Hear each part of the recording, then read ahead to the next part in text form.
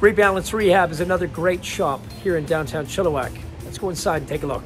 Hi, my name is Nicole Olson and I'm a physiotherapist here at Rebalance Rehab. We just want to let everybody know that we are open for business and your health and safety is top of mind for us. So we have gift cards available for those looking for gifts for loved ones during the Christmas holidays. We have personal training sessions, uh, we have personal Pilates training sessions, and we also have massage therapy gift cards that you could give your loved ones. Everyone in this space wears a mask, as you can see. And uh, if you don't have one, we're happy to provide one for you. And we have infection control policies and procedures and protocols in place from the minute you walk in the door to the time that you leave.